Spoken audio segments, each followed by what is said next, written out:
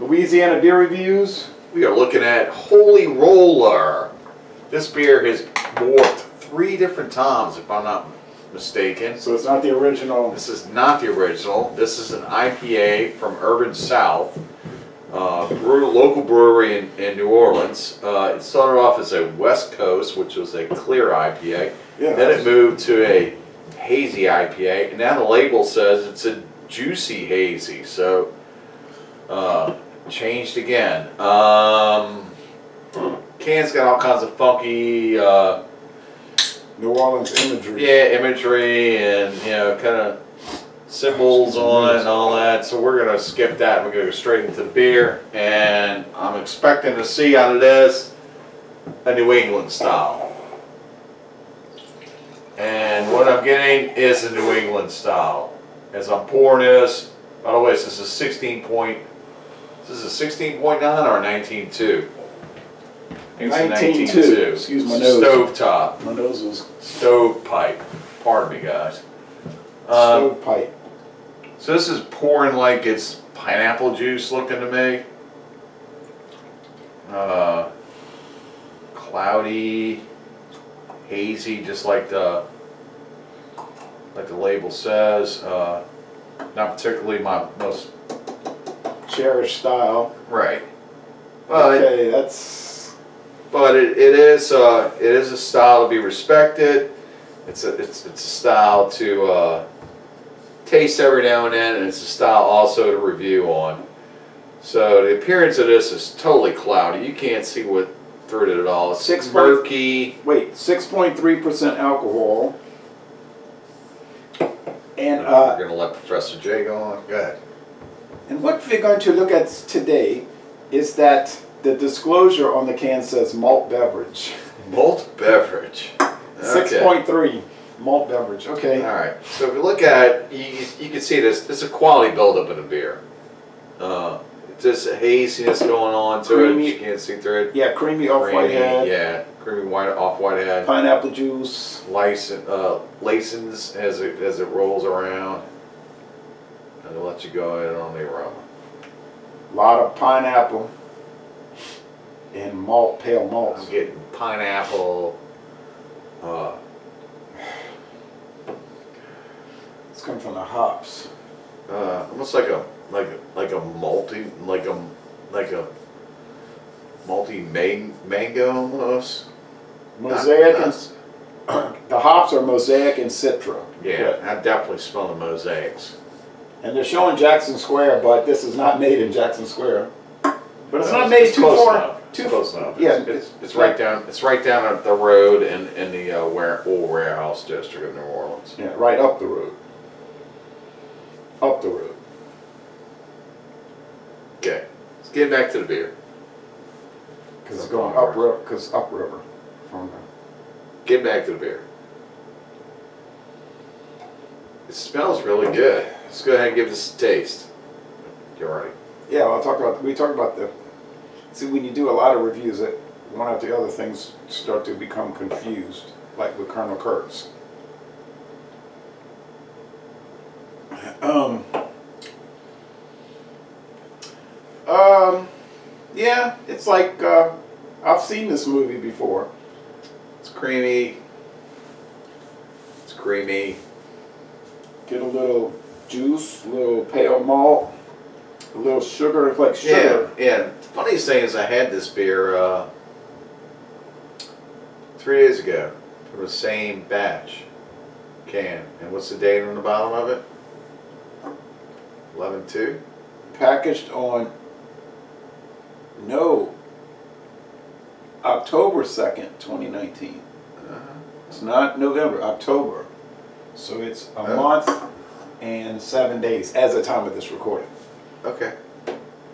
So with, with that said, we got two completely different tasting beers from what I had, which was the 11 2 can, which I thought this was, to now the October 2nd can. You get a little hot bitterness there. It's a little tickle Well, of you, it. you get almost like that dry hoppiness that's kind of faded in this. When Let it's me- fresh, you get that you, you, you get you get a hop on the forward note and then a hop on the rear. I'm not getting the, the forward noted hop, and which drops a lot in the dry hops. The, the body's draw a high, medium, and the finish is sort of sweet. Look, when we used to go camping, the ladies would make something called like ambrosia. It was like a fruit salad with the sliced up cube, uh, the diced pineapples and the coconut and cherries. Yeah. This is what it tastes like. This tastes like. Well, it totally tastes like that. You remember that? Yeah. They would make that. Yeah, that's what it tastes like. It tastes like a, almost like a fruity cocktail. Less than a beer and more like a fruity cocktail. Right. And I had people kind of coming at me on the uh, flavored malt beverages, you know, like the Yeah. ones, and then you were saying, "Hey, wait a minute, uh, you, we could have drank those together." And I said, "Oh, I thought you didn't like those." But then it was funny. I was thinking about those, and I was saying that they're kind of like this in a way. Yeah. They're like they're trying to be like very, like you said, like a cocktail, which is fruity with the coconut and the uh, the uh, Coco Lopez, you know, like the coconut canned Yeah. coconut uh, milk and all that. This is definitely less than a beer. And, it, and the hops kind of faded on its own. So I'm a little confused. Well, uh, I don't know what kind of cocktail that's called, but it tastes like that, with the coconut shavings and the pineapple juice, and um, My top? Mai Tai. Maybe that's what it was. I don't know. I don't know about cocktails, but um, it's fine. But when I think of a, the word beer, this is very controversial to say this, but when I think of like you say, let's drink a beer, my mind would focus more on the idea of this, Yeah. not this. Not to say this is bad. No, this is good. And I was talking about the flavored malt beverages. My mind would not say, "Oh, I'm gonna drink extra kinky pink," or extra kinky gold. I wouldn't think that either. That's a flavored malt beverage, or the the strawberryta, the Rita. But I just this tastes like what people think of when they think of beer, and this tastes of what people think of when they think of what I described. The Like a, like a fruity, kind of islandy drink. exactly. Like something you, you expect from, I don't know. Like if you- Like a Polynesian. Yeah, like if you went to Pontchartrain Beach in 1980 and went to Bali Hai, they used to have that Polynesian club, the Bali Hai, and it would make something. Yeah, you like get that this. funny little drink and it was like no carbonation or anything in it. But this has carbonation. So anyway, we're not. People are gonna say you attacking it, you attacking it. We're not attacking it. No, we If just, people want to drink it, yeah. like my sister would love it. I know a, a lady that lives in Tangipahoa Parish. She's all into the hazy IPAs, and I made that connection today, this morning. She posted on Facebook my story. She she was playing music, showing Jucifer. Oh, I got a case of Jucifer, and I'm like, I get it now. That's why so many women like it because it's fruity. Like, that's what they like to drink. Yeah, they do. They like to drink that. So I get it. You if you're making a lot of money selling it, keep selling it. Yeah. Two There's people wrong with that. two people doing a beer review in a kitchen don't need to like it. You know what I'm saying? the ten thousand people a day drinking it, that's what matters, you know. Yeah, they like it. They like it. Right. I don't really like it.